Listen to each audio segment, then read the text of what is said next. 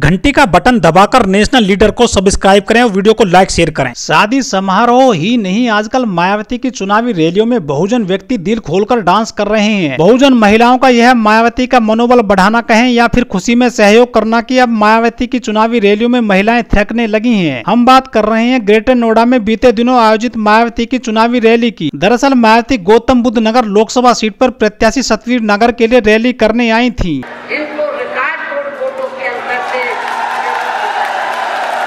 मायावती के लंबे चौड़े चुनावी भाषण के खत्म होते ही रैली स्थल बहनजी जिंदाबाद के नारों से गूंज उठा।